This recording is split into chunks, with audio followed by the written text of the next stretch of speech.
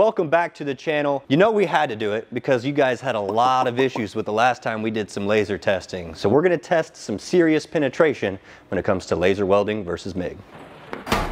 Now you guys all remember the last laser welding video we did when we compared MIG to lasers. You guys gave us a ton of feedback when it came to that fillet weld break test of me womping on that quarter inch plate.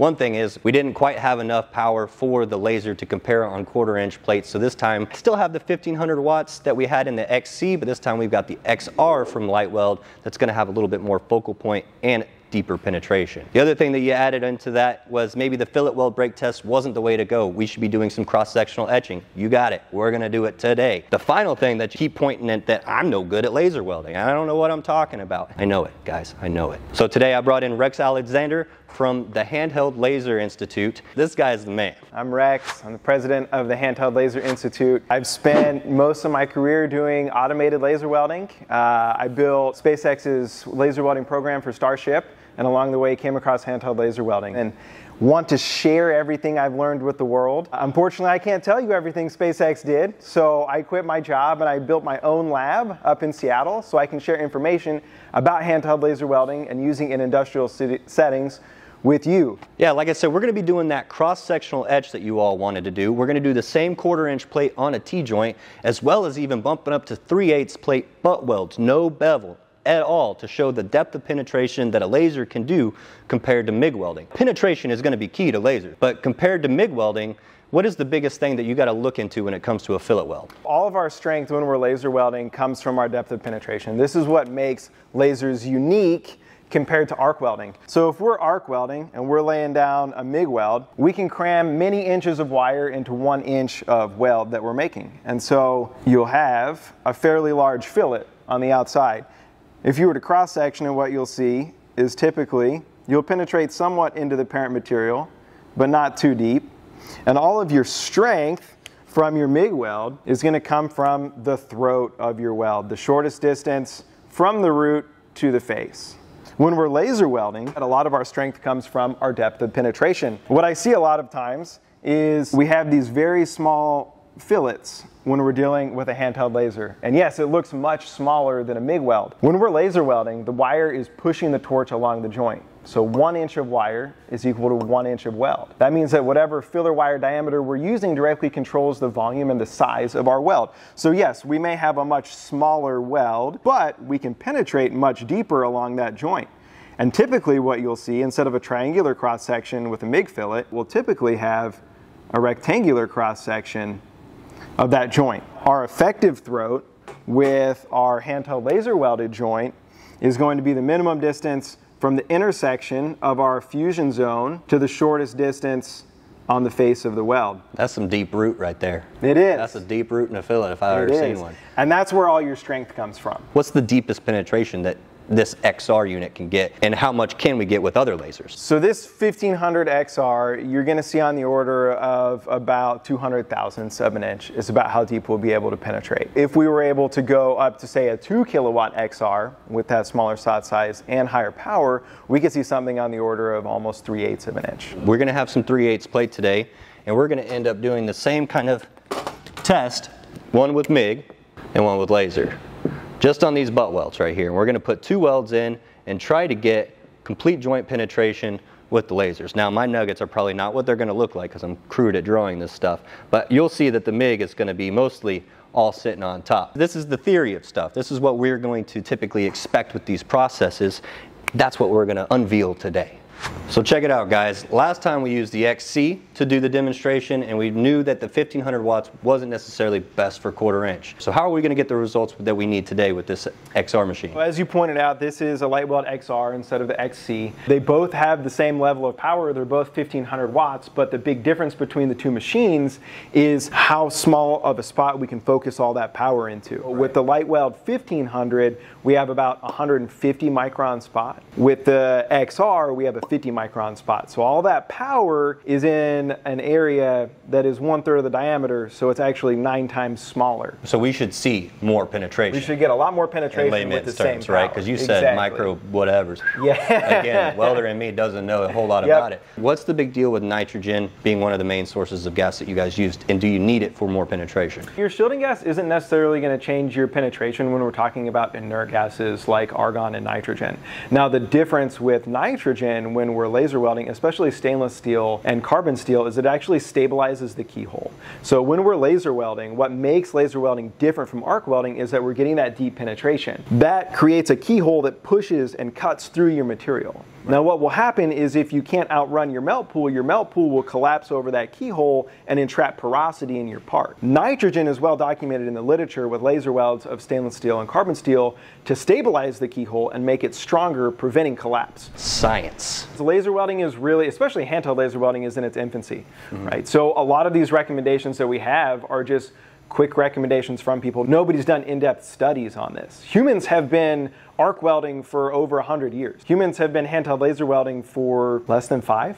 Sure. There's still a lot to be learned, and Right. so that's what we're here to learn. When it comes to this quarter inch fillet weld that we're going to do, I'm going to do the MIG welding on one side, you're going to do the laser on the other. We're going to try to let everything cool off in between so there's no discrepancies on that. And of course, we have our 3 8 plates that we're going to do a straight up butt weld and weld both sides with both processes. One of the comments that we got was using a dual wire feeder in order to get the proper reinforcement for the laser weld to compare it to the MIG weld.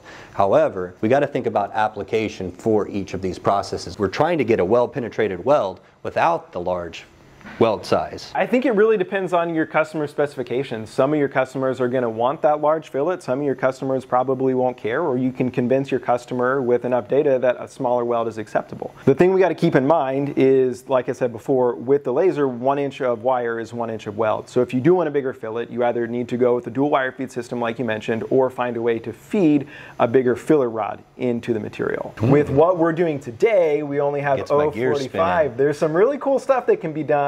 It's, it's still in works, but there's some really exciting hardware developments down the line. I'm thinking some laser Texas Tiggin is in store for mm-hmm. today's episode.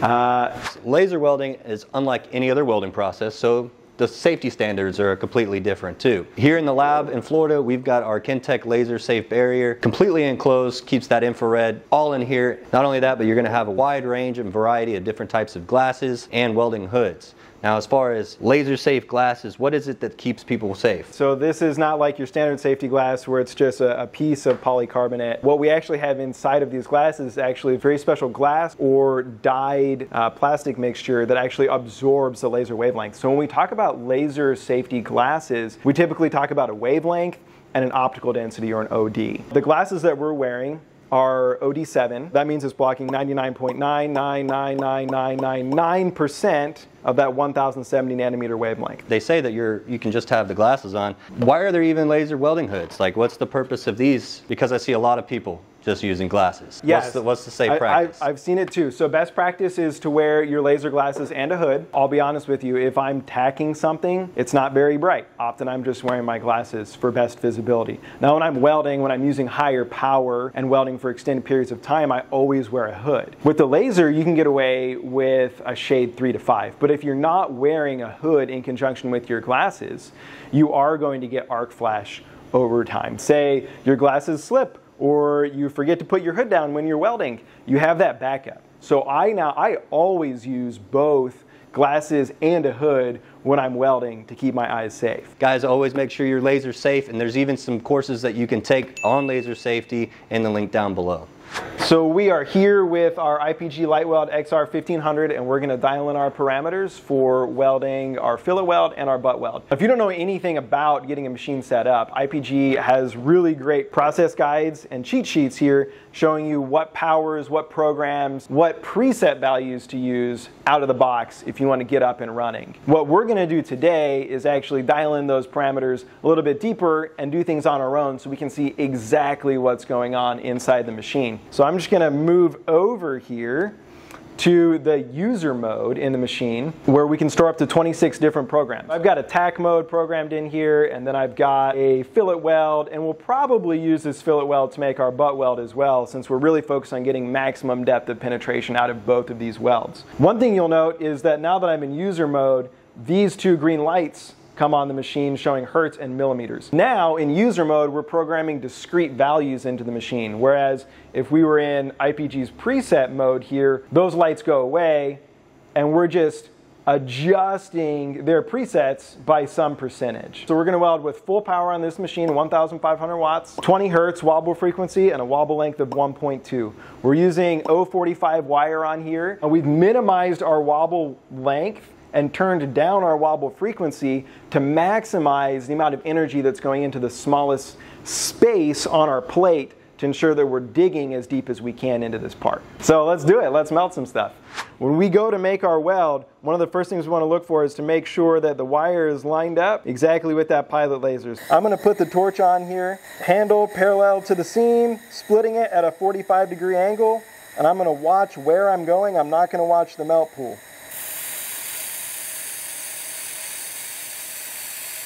And this is a pretty slow weld for a laser weld. We're welding at about 20 centimeters per minute, which in inches per minute is going to be on the order of about 12. And we're just going to weld all the way to the end of the seam here. Now, you see on here, there's a bit of black soot surrounding the weld.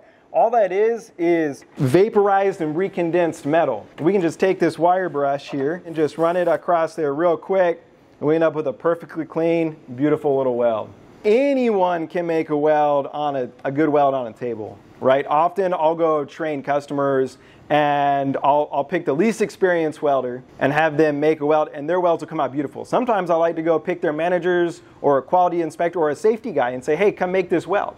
And those guys off the bat will be able to make a beautiful weld, whereas your experienced arc welder will struggle a little bit because usually you're watching the melt pool. You have to try less hard in the beginning until you get the feel for it. Once you can make a, a, good weld on the table, now you actually do have to learn some skills to go weld all day long out of position, uphill, downhill, overhead, on high-end production parts that you're not going to scrap. I don't think people understand that that does exist. People are taking these ups on high scaffolds and they're using lasers in order mm-hmm. to weld a lot of special pieces and parts and you need extremely proper training just like any other tool. The learning curve is short, but you still have to spend time to master it. So the trick on this butt weld is going to be aligning the wire with the seam and being able to follow that joint. Typically what I like to do is put a small chamfer on both edges just so the wire has something to drop into. We've got a bit of a gap here so there should be enough space for the wire to follow this joint. So we'll go ahead and hit it.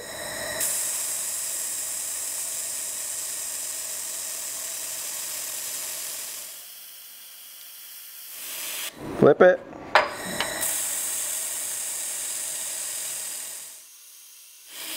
Well, we got them zip zap zerped up, so no now we're just going to do the other coupons. Remember, guys, we are going to do a cross-sectional etch for you all because that's what you want to see. Everybody on the internet always wants to see a weld cross-section, and so we will deliver.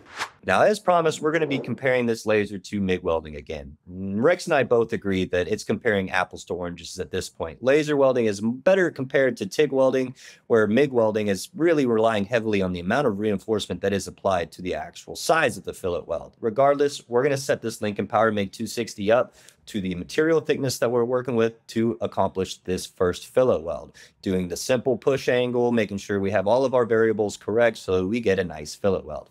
Now for the butt weld, on the other hand, we're going to go ahead and turn things way up on both the voltage and the wire feed so that we get even deeper penetration into this half inch piece of plate on both sides. So I went ahead and ripped this butt weld on both sides to see if I can get these to penetrate deeper than the laser.